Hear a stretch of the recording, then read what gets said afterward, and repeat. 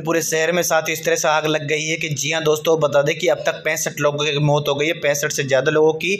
वहीं पर ही साथियों, बता दें कि अब तक एक हज़ार से ज़्यादा घरों को साथियों खाली करा दिया जा चुका है वहीं पर ही साथियों, इलाकों में अब तक पंद्रह से ज़्यादा लोगों को खाली कराकर सुरक्षित स्थानों पर पहुँचा दिया गया है। सोलह लाख की आबादी वाले लाहौन शहर में मची तबाही के बाद फिर इसे खड़ा करने के कई साल बाद अरबों रुपये लग जाएँगे। इस तरह से आग अभी भी बुझने का नाम नहीं ले रही हज़ार से ज़्यादा इमारतें जलकर राख हो चुकी हैं। वहीं पर ही हज़ारों से ज़्यादा लोग बेघर हो गए। साथियों, बहुत सारे लोगों की मौत हो गई है।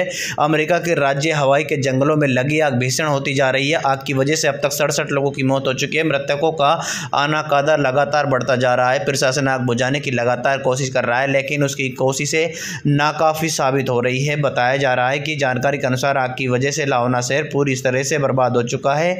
हवाई गवर्नर जास ग्रीन ने बताया कि सोलह लाख की आबादी वाले लाहौन शहर में मची तबाही के बाद फिर से खड़ा करने के कई साल लग जाएँगे, क्योंकि अरबों खरबों रुपये लग जाएँगे। वहीं इस प्राकृतिक आपदा से निपटने के लिए अमरीकी राष्ट्रपति जो बाइडेन ने फंड जारी किया है, बताया जा रहा है कि आग प्रभावित इलाकों को पंद्रह से भी ज़्यादा लोगों को सुरक्षित निकाल लिया गया है। इसमें कई सैलानी भी शामिल है।